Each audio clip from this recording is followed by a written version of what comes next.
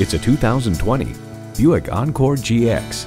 More luxury, more space, and an attitude that says it's ready for more. It comes with all the amenities you need.